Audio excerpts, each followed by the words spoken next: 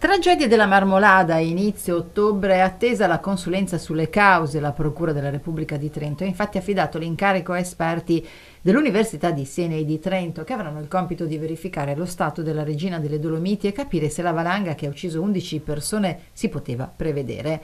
È attesa dunque a inizio ottobre, salvo eventuale proroga, la consegna della consulenza chiesta dalla Procura di Trento guidata da Sandro Raimondi per capire le cause del crollo di parte del ghiacciaio della Marmolada che lo scorso 3 luglio travolse e uccise 11 alpinisti. L'incarico è stato conferito a luglio a esperti di fama internazionale dell'Università di Siena, Dipartimento Scienze Fisiche della Terra e dell'Ambiente e di Trento Ingegneria Idraulica per verificare lo stato della regina delle Dolomiti e l'assegnazione della massa d'acqua che si è creata a causa delle alte temperature. Bisogna infatti ricordare che quella domenica in cima c'erano oltre 10 gradi.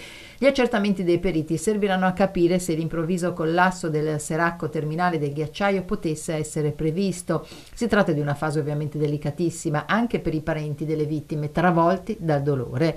Ben otto le vittime venete, di cui sette residenti in provincia di Vicenza. Migliorano intanto le condizioni di salute dei feriti coinvolti nella valanga mortale di rocce e ghiaccio.